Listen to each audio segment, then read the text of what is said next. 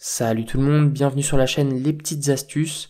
Dans cette vidéo, je vais vous montrer comment changer la langue sur Adobe Premiere Pro.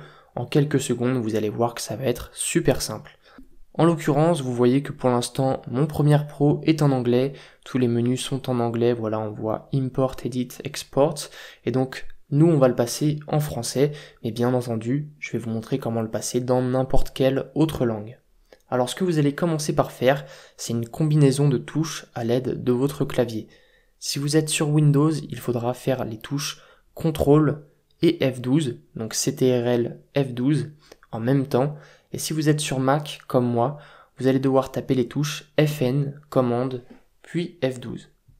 Si vous avez réussi la manipulation, vous devriez voir apparaître cet encadré avec console décrit juste ici.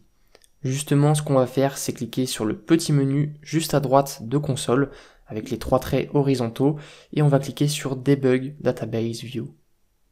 Ici, on va s'intéresser à la catégorie Application Language.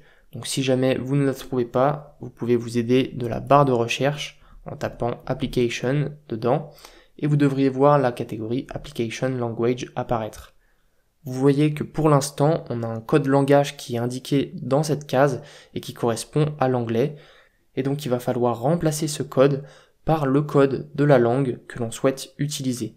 Alors bien sûr, il est impossible de connaître tous les codes par cœur, donc pour ça vous inquiétez pas, je vais vous mettre un site en description de la vidéo qui vous aidera à trouver le code langage de la langue que vous souhaitez utiliser.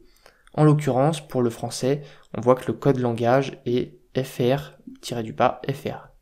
Donc une fois que vous l'avez trouvé, vous avez juste à le copier, vous retournez sur Premiere Pro et vous allez le coller pour remplacer celui qu'il y avait auparavant. Pour valider, faites bien attention à sortir de cet encadré, histoire qu'il ne soit plus affiché en blanc.